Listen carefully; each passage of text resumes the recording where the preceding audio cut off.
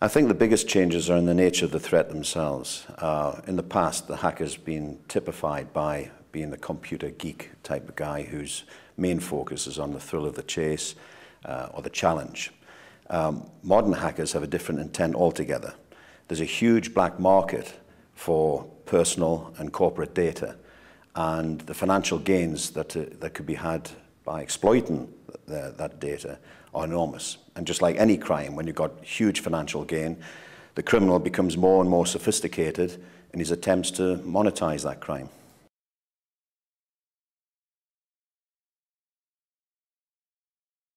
I think the biggest change or challenge is uh, monitoring activity across an organization's network. So the traditional defenses, because of the sophistication of the criminal, uh, are no longer adequate. And I think there's a, a very much a need to monitor what's going on, who's doing what, where, across an organization's business, whether that's examining and monitoring databases, applications, digital assets of any type. And that's the main thing that's uh, uh, our focus certainly now.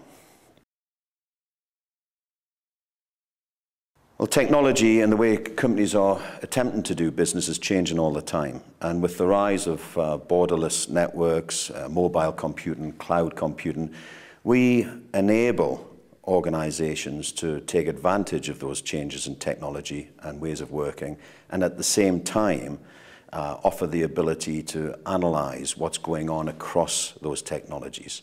So really, we try to make sure that security becomes an enabler for business rather than simply a cost or an overhead to business.